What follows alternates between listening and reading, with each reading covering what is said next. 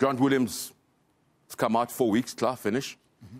So my, my layman again, I'm just asking. Mm-hmm. Incidents happen in the same game. Why is one delayed and one not coming up to the same time? Surely, you know, educate me here. Well, it depends on the coaching staffs. It depends on the, who the judicial officer is assigned to the, the case or cases. Um, being different sides, one in Durban, one in Pretoria, potentially two different judicial officers that will be assigned to their cases. And from there, they'll take the matter forward as per any point of order in law uh, with regards to the correspondence between the two, the submission of documents, and then you know, they'll have their adjudication panel that will probably video conference uh, with, with, the player and his representative and take it from there and take them through the incidents, uh, what are the mitigating circumstances, if there are any. Uh, more importantly, what is the player himself admitted or submitted mm. regarding his actions on the field of play? So, when you say players are, are submitting stuff, well, what do they normally submit?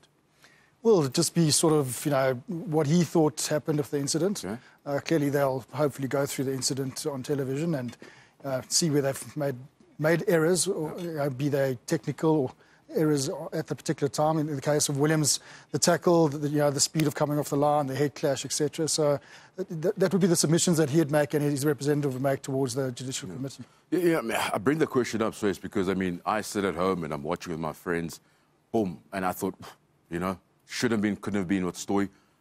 Wednesday, Thursday, boom, four weeks, I know. Now I'm still waiting for Morne. You know, you, you're trying to explain to me how the whole procedure works, and thanks for the info, but logic once again for me is like, well, I'm waiting what's happening because guys need to travel this week. They're playing overseas. And, uh, and, and Morne's, you know, they're saying the decision will come on Monday. So even, even then, it kind of affects the, the travel plans for Jake White in terms of is he available, is he not available, what's the story? Because if the, the ruling comes tomorrow, is he on the plane with the Bulls or not? Well, I, I, think potentially he's on the plane, which is probably why they're delaying it. Um, I don't think his incident, I think it was more stupidity than anything for a guy that's experienced as he is. Um, and I don't think it deserves more than probably two weeks at best. But I'm afraid I, I think the Grant Williams one I thought was a lot worse in view of the fact of the injury sustained by the player uh, Chris Smith. So for, for me, it was a, a, a, much harder collision and one that I thought probably deserved more action as opposed to a Morne Steyn one, which, in, in the nicest possible way, was a lazy tackle. So Robbie Kempson says the Grant Williams incident was more malicious than Morne Steyn. The public, I say, I know it's a bit old news, last couple of weeks saw a swinging arm. One of our pundits, Schalk Burger, sees it totally different from Kempo. Let's hear the thoughts of, of Schalk. Kempo, smile about this one. I mean, I mean when you come out of line, you see, you size someone up. You're obviously going to put yeah. this high force involved because you want to be the enforcer. You want to dominate that contact situation. Someone moves their head you're in the perfect tackling position. It's not a high shot, it's a head clash.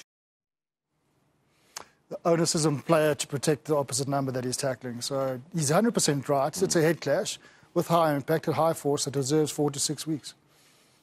So you're saying a swinging arm is less dangerous than me and knocking heads with with Swys. That's what yeah, you're saying. you know, for me, well, well, well, it's, it's, it's here. I'm saying that, uh, yes, Morne Steyn's case, it was hardly a swinging arm. He got his red card, but for me, it, it, there was no malicious intent. There was no way he was going to injure the opposite number that he, he did. And certainly after the incident, Lukhanyo um, gets up and he's absolutely fine. Um, again, very sloppy from Morne Steyn. The other one I find is high impact. There's an intent, there's a force, and there's an injury to the player on the ground. I think something out, very key you say. Yeah. Outcome say. is very important. Maybe, maybe I'm missing something here. You say Lukhanyo gets up. Chris Smith did it. Does that have an impact in terms of the decision? So you, you submit a medical report. Yeah. Also, the player on the sh- bull side will submit a uh, medical report saying, from this incident, this is what occurred to the player, Chris Smith. So sometimes, particularly when you're playing overseas team, they'll bump up that medical report yeah. depending on who the player is, so he doesn't play the next week. This is brilliant because I mean I, always look at it and, and, I'm getting emotional as a fan, as a this, and thinking, what this happened, this happened. Now you're saying the medical report of what happened to the player also has an impact well, on the ruling. Yeah, so the assistant referee's report, the referee's report. Yeah, they, they look at all factors and at all they come to the conclusion. For, for me, there's not a bigger sin and a smaller sin. Ah. If you, if it's head contact, it's guilty, and then you got to work it out. But I can't. Uh, our opinions uh, vary so much on this one. For me, Grant Williams was that happens. I'm, I'm with Schalk there. It just happens. It almost uh, hit, uh, run into one another. Two guys upright, running into one another. Morne's one, Morne's one for me was more intentional. That was already past. There was one or two seconds where he could have made up his mind. I can't do this, and it was, and, and it was I.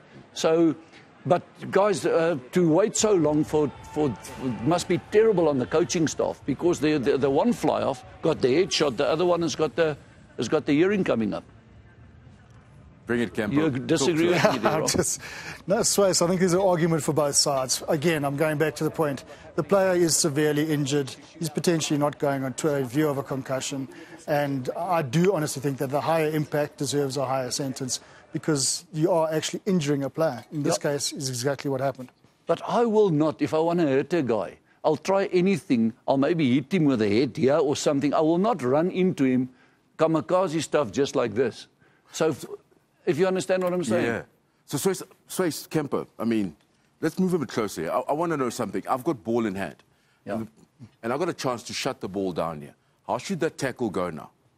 Because Grant Williams, kids, spot tackle, I want to I want to kill the ball here. Yeah. What happens now? That technique has to change. Well, he's got to lower his body height as per any tackle. If I come Make low, sure it's legal. if I come low, he frees his arms, he makes the pass. Yeah. Maybe you're hitting ball and all, but you're not hitting him with, his, with your head. Only Schalk Burger does that, apparently. It depends where's my position as Yeah. well. I would say if, if I, Chris Smith went low down and he different story. But Chris was upright as well, and that makes your stuff more uh, coming into play a bit, Robbie. That that, that is guilty. It's it's deserves the whole thing. For me, it, it, for me it was an unintentional. I can't really see that a guy will run into a guy with his face, and and, and it, it, it's a bad luck collision. You know, I've, I've raised this question before on the show, and the biggest thing about law changes, they impact on the coaching so much. True. so much. And yet, 100%. I, I don't think it goes the other way around. That we've made, I think it was uh, Kolbe, when he's up in the air, keep his eyes on, got a yellow card because he took the player out of the air. But he's done everything taught since he was a kid. Keep your eyes on the ball, keep going, keep going, go up, boom. He plays the other guy who's then jumped a bit further than him or higher than him, boom, penalty against him, red card, changes the game. And I just still say the laws impact on the coaching so much, and because you got, you got to almost undo everything that has been taught before. Yeah, the ultimately with head clashes is player safety. Yeah. They want to prevent concussions, they want to prevent head injuries, and protect the safety of the player. So you've got a coach in any sphere, in this, in this case, poor tackle uh, technique, that exactly what he needs to do in that case. Is he's it- shooting out of line. He's, he's got to get his body position right so he doesn't impact on the player's head. I might have my, fac- my, my facts wrong here, Owen, Hmm. but slinging a guy to the ground, taking his feet underneath him, and he lands on his neck and head like that slingshot. That for me, speaking to Rob Collins a while back when I was with him, he said to me that is the dangerous stuff. The normal head collisions, it's al- almost like it's dangerous and we don't want that. But that's not really the. the uh, look, I don't know what's the long lasting effects on those, but, but for the concussion straight away, it's often the slinging guy where you get whipped and your head goes that way, and then and, and, and then the, the concussion